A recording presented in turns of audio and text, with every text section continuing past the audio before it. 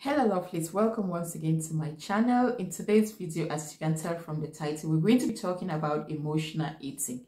Emotional eating is when you eat as a response to negative or positive emotions. Most of us do eat emotionally, but we don't know that we are emotional eaters. We eat and gain weight without even knowing that we are eating because we are suppressing or celebrating something that has happened in our lives.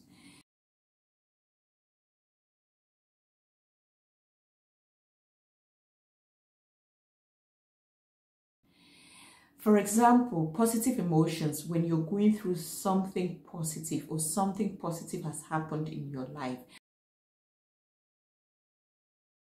or you're celebrating, the tendency is that you go in for high calorie food. You go in and grab a pizza, you want to grab a slice of bread, not that you're hungry, but just because you're thinking that that's your normal way of celebrating.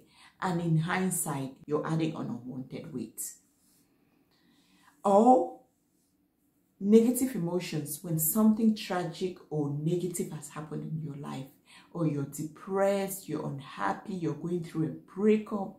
The tendency also is that we go in for more food we go in and we grab a pizza, we grab, we want some fried, some biscuits, thinking that the food will take away the pain, the food will take away that phase in our lives. But truth be told, it's just our mind telling us because after we must have eaten all those food, the pain is still there. Or the joy or the happiness or whatever you're celebrating is still there. So let us not be trapped with the mindset of thinking that we should be celebrating with food or we should be going through pain with food. It doesn't do us any good. It just helps to add on more weight. The reason why I'm making this video is that next time when you're going in to grab something to eat, whatever it is, ask yourself, am I having this because I'm hungry or am I having this because I'm going through a phase? Am I having this because I'm just happy and I want to celebrate? Or am I having this because I'm going through pain, breakup, name the rest? There's nothing like informed decision. So when you know better, you do better. So that's the reason why I'm making this video.